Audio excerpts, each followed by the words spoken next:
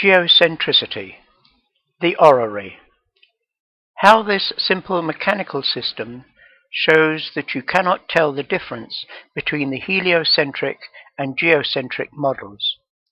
You cannot falsify geocentricity simply by observing the sun, planets, and moons.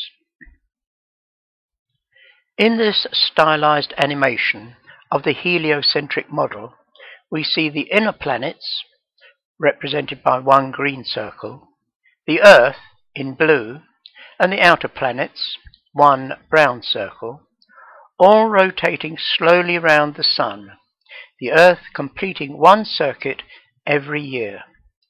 The inner planets circle the Sun much quicker than the outer planets. The stars are effectively stationary. This moving system can be made into a mechanical system using the Sun at the center and the planets on long arms that slowly go round the Sun, each having their moons circling the planet on short arms. In the model, they are all moving anti-clockwise around the Sun, and of course, the Earth is also spinning rapidly on its axis in an anti-clockwise direction as seen from the North Pole, to represent it turning round once per day as it circles the Sun in one year. Now imagine that while the mechanism is still operating, you take hold of the earth firmly in your hand and lift the whole mechanism off the base stand. The machine will continue to operate normally but now that you are holding the Earth stationary, the rest of the planets and the sun and stars are now spinning round the Earth in a clockwise direction once every 24 hours. What is immediately obvious is that because the mechanism is still operating and controlling the planets, the relationship of distance and rotation, etc., between all the planets and the Sun are exactly the same as they were when still on the base stand and circling the Sun. What is happening is at the end of every 24 hours, the planets are in almost the same position in the orrery, but not quite. They have moved very slightly according to their slow rotation around the Sun during the year. We can see this in the following simple animation. Here we have the heliocentric yearly rotation of the planets again.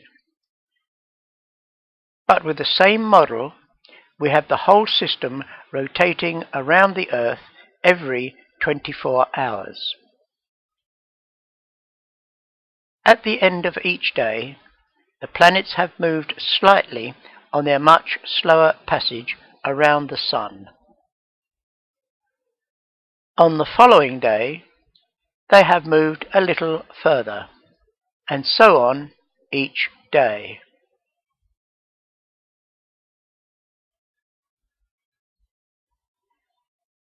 So let us restate the situation.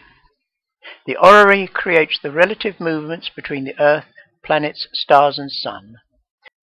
But if the Earth is held stationary, the whole mechanism rotates around the Earth every 24 hours but the relationships between the planets and Earth remains exactly the same. Therefore, by observations of the planetary system, you cannot tell whether we are in a heliocentric system or a geocentric system. So the retrograde motion of Mars or the motions of any other planets are exactly the same in both systems.